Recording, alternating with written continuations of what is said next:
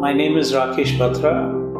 I'm a businessman. I had this problem with my eyes and I had been delaying uh, coming uh, for a cataract for some time. Especially now because of COVID, it was uh, I was very nervous. But some friend of mine recommended me to come here, and uh, my experience here has been extremely good. The staff here is very caring. I have yet to see a cleaner hospital than this.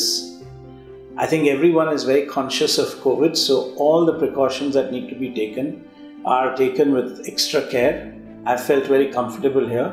More than that, the doctors, the nurses, the help uh, that I got from here, the staff is ex- they have been extremely cooperative.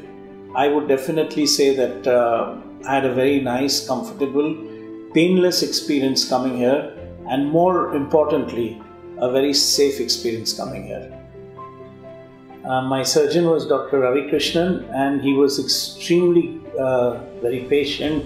I think uh, being a nervous patient, he really put me at ease, and uh, he did a fantastic job. In fact, throughout, he kept uh, guiding me and talking to me and running me through the entire process, which uh, of course didn't take much time. But I was extremely comfortable and secure with with Dr. Ravi.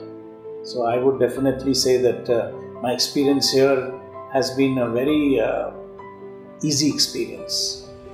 I want to thank the staff here, Dr. Shetty, uh, the owner, and uh, all the staff here, all the support staff, the ward boys, the nurses, the uh, the, the uh, managers, administrative staff, people who really took care of me, the doctors.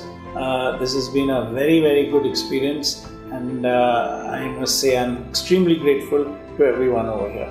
Thank you so much.